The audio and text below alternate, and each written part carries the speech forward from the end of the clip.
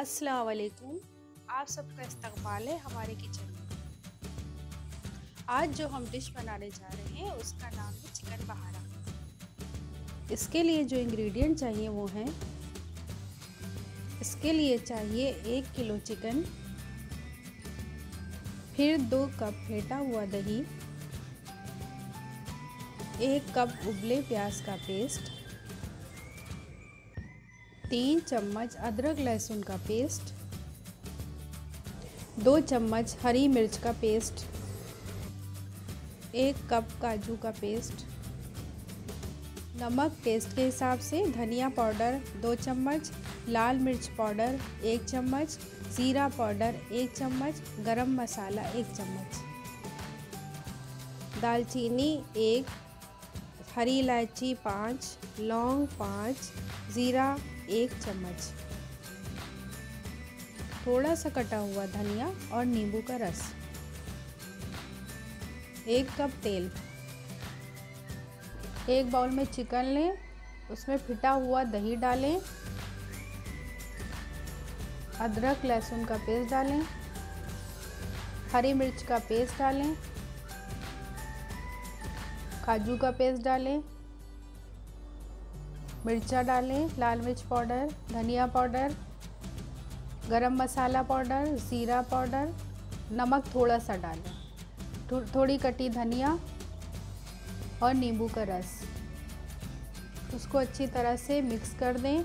मैंने चम्मच से उसको मिक्स किया है आप चाहें तो उसको हाथ से अच्छी तरह से मिला लें जिसमें सारे मसाले उसमें मिल जाएँ और 30 मिनट के लिए उसको ढक के रूम टेम्परेचर पे रख दें।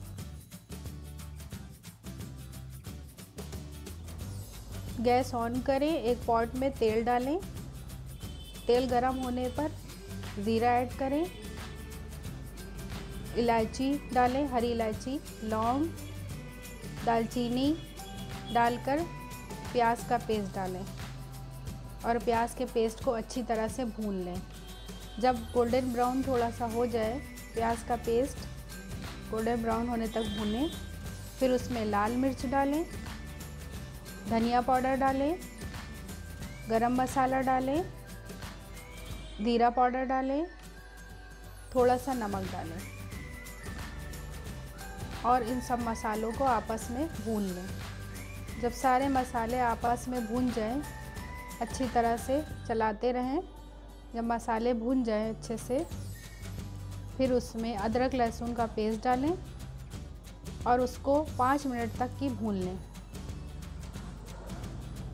फिर उसमें थोड़ा पानी ऐड करें और मसालों को लगातार चलाते रहें ताकि मसाले नीचे लगे नहीं। मसाले थोड़ा भुनने के बाद तेल ऊपर आए, तब उसमें चिकन, मैरिनेट किया हुआ चिकन डालें। चिकन को डालने के बाद उसको उसमें से चलाते रहें, भूनते रहें।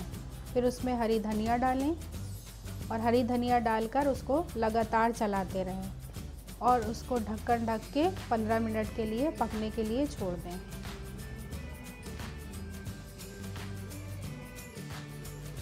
पंद्रह मिनट बाद ढक्कन को खोल लें।